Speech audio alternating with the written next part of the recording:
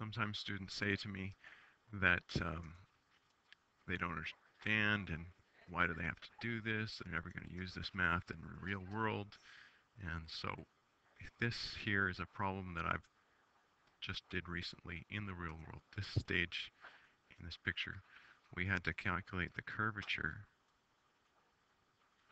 of that stage, but the um, the distance from here to the wall was less than the radius of the stage. So to be able to draw that curve on the stage when it was rectangular, it used to come out like this before we cut off all the um, plywood into the curves. That um, that radius was way behind the wall. So we had to have a way of calculating the curve, the, the radius, so it would end up right the right place when we cut it someplace else. And then we'd put it into position and have it meet the wall exactly where we wanted it to meet and come out from the wall the exact amount. So that is a problem and the solution is um, fairly simple and it will fall.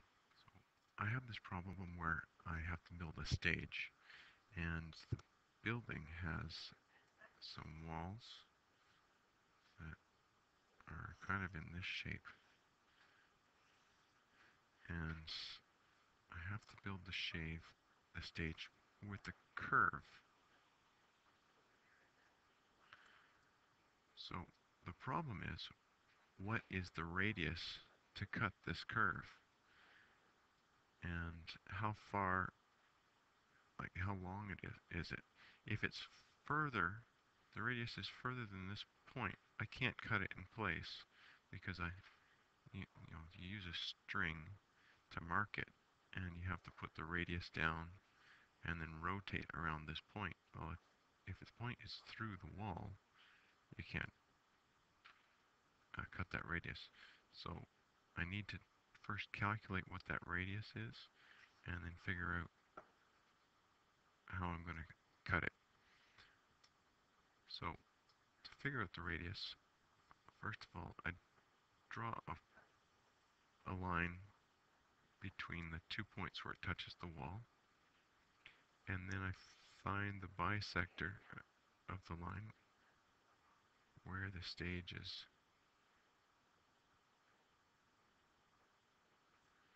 um, at its peak point here. And we're going to call this the radius. That's the turning point. Now we also know that if we go from this point down to this point, that's also the radius. So mark that R.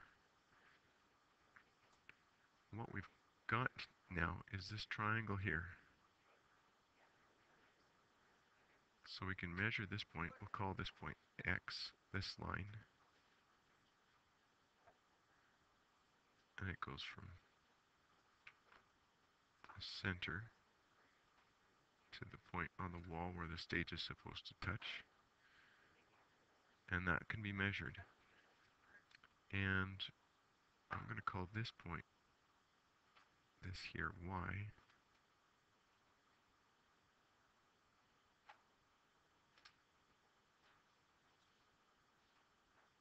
And this can be measured. So we know how, if we know how far from the wall to the point in the middle of the room, or partway of the room that we want the stage to go at, the, at its furthest point, we measure from this bisector to that point, call it y. And now this length here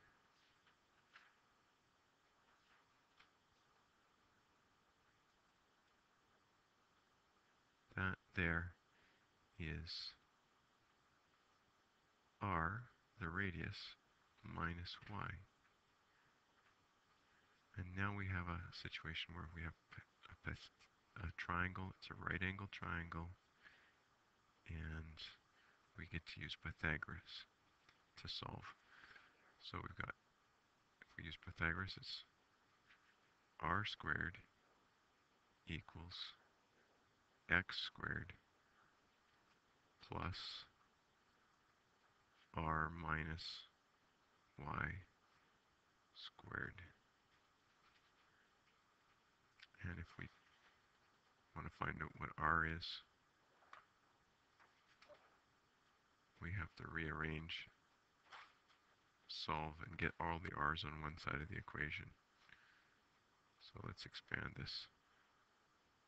X squared plus r squared minus 2ry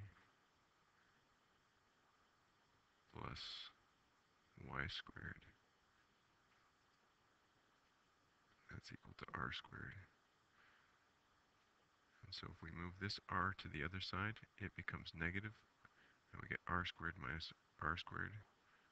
So r squared minus r squared, and then move this to ry plus 2ry is equal to x squared and that's plus y squared. So now we can eliminate the r squareds here. And we're left with 2ry equals x squared plus y squared. And we then we move the 2y over. So the radius is equal to x squared plus y squared divided by 2y. And that's, remember the x is something you can measure, and the y is something you can measure. And from those, you can calculate the radius. And it's just a matter of finding a place with a long enough radi radius that you can get your string and draw that curve on uh, template or something so you can cut that out of your uh, stage material.